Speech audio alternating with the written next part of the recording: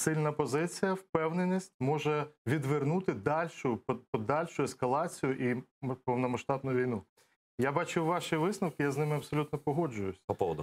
З приводу того, що у нас далі йде реальна, я можу це підтвердити, загроза повномасштабної війни, принаймні регіональної, з боку атаки, з боку півдня, вона нікуди не ділась. А давайте мы сейчас посмотрим, и зрители посмотрят м, э, кусок выступления Путина, интервью вот его программное, да, там кусочек. И э, Пьянковский Андрей, он русский э, такой политолог и публицист, он живет в Америке сейчас. Э, он это прокомментировал, а потом мы с вами это обсудим. Да? Давайте. Другие вещи, связанные с нашим суверенитетом. При создании Советского Союза в договоре было прописано право выхода.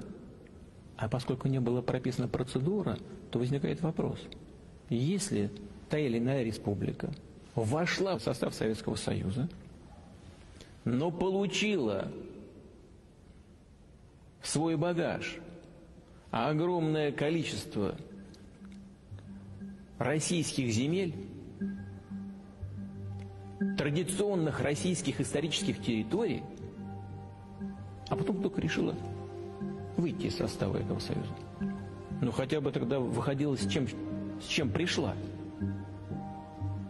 И не тащила бы с собой подарки от русского народа.